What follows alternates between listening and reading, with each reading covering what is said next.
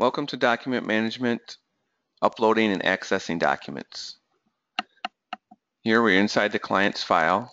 I'm going to scroll down to the account information section.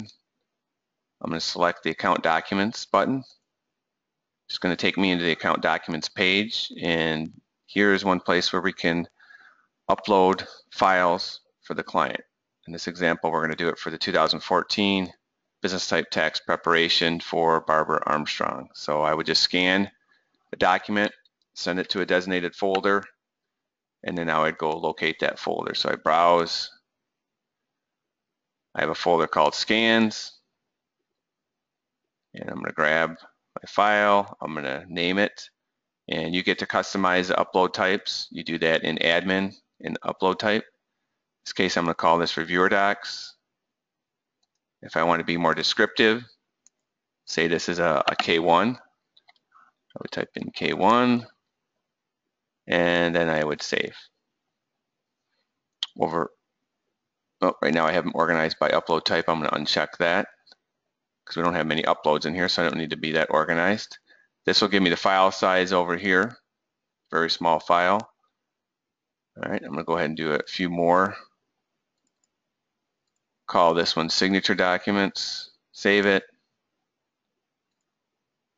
And then we'll grab one more, again, call it reviewer documents, save. And now if I want to organize it by upload type, I just check the box.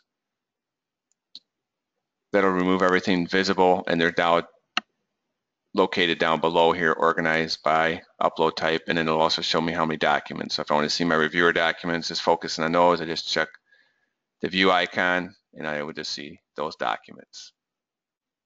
If I need to view a document, all I do is click on the file link right here, the hyperlink, and then the document will now display. Um, from here, I want to show you, I showed you how to access the account documents page through accounts information section. There's also a few other places we could do this. Go back to file here. If I scroll down, she has several other years. If I hit show all years, Barbara has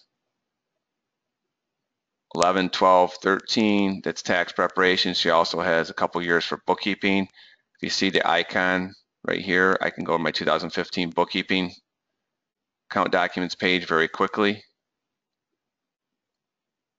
So all I do is use, we have the document icon located with throughout the client's file and within the Atom software so you can quickly get to another year without having to scroll.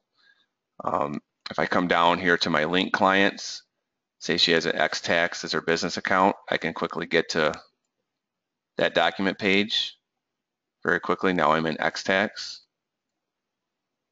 And I also can do this from on the home page. So go to my home page,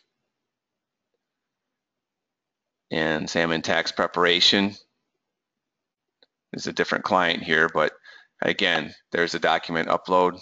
This is for 2015 for this Jason Peak. Click on that. That sends me right into his 2015 account documents page. And lastly,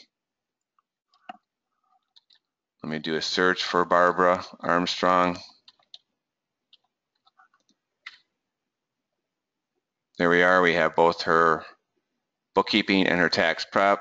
is showing me the last years. I could see all years if I'd like.